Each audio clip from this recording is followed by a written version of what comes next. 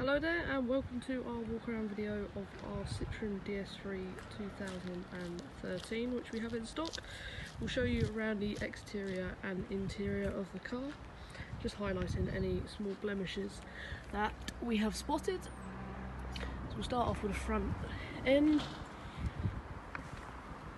It's not peppered in stone chips but there will be an occasional one here and there, usually on the lower half of these cars tends to see a majority of it. Go around to the driver's side. There's a few marks on that driver's front alloy, um, which you can see up here. Little scratch on the front wing, but nothing too drastic. And as you can see, as soon as you step away from the car, it hardly becomes noticeable. There is a small scuff on the wing mirror here, but as it's being black, it doesn't stand out too much either. Little touch in on the inner door edge, which we can have sorted upon request prior to sale. And then the driver's rear alloy, which has still got a small mark there, but not as bad. Usually the rear alloys uh, don't get as damaged. Along the rear.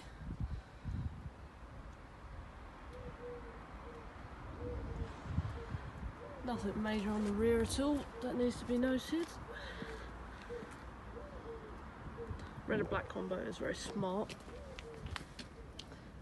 Uh, passenger rear alloy, same again, light curb rash there, but from afar it's not as noticeable. Along the passenger side, as you can see, and the passenger front alloy.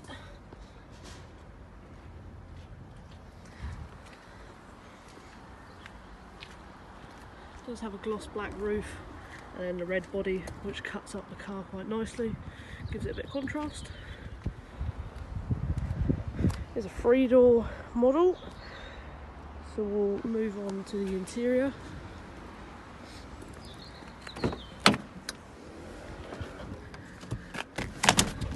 Cloth interior. There's no major damage at all. The rear seats look like they've barely been sat in as you can see You've got the Isofix as well. Centre armrest in leather. You've got all your AC uh, and media controls in the centre here. A lot of people ask what this thing is here. It's uh, it's actually an air freshener, so you can pull it out and put in a little pod, um, and it goes through your AC and keeps the car smelling nice. Manual gearbox,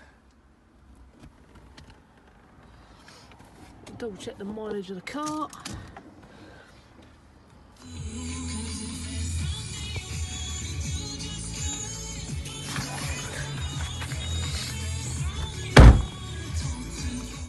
Uh, it's on 48075. That will increase ever so slightly.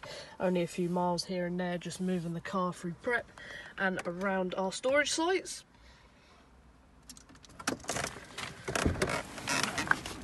So that is our DS3 that we have in stock. If you do have any other questions, please let us know. And thank you very much for watching our video.